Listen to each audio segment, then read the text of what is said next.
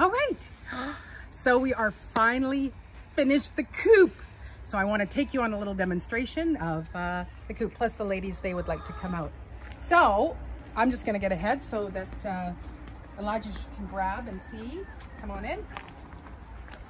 Where we have our fresh eggs. So this is our nesting box, nice and big.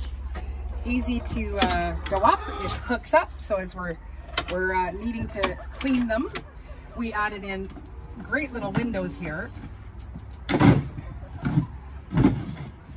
And then down below, we the screen is removable. And this is also where we're gonna take out our uh, bits and pieces. Okay, ladies, I hear you.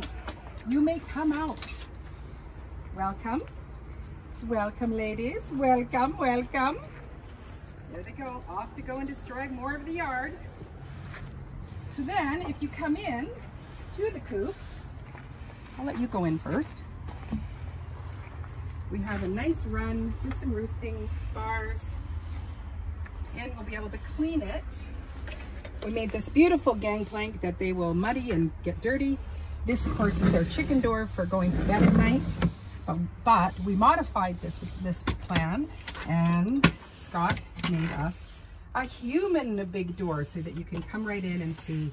We've got the roosting bars. There's a window over there. There's also a, a, window over here. We've added insulation to keep it extra warm. And so the ladies have a fabulous home now. Very exciting.